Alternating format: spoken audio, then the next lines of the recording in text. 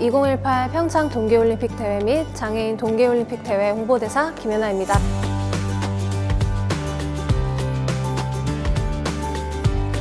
(2018) 평창 SNS를 통해 우리 올림픽의 다양한 소식을 만나보세요.